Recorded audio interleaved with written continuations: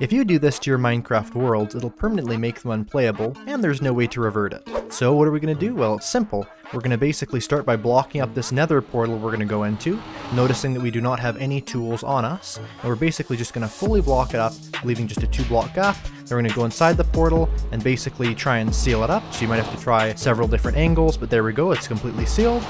Now we're going to go to the other side.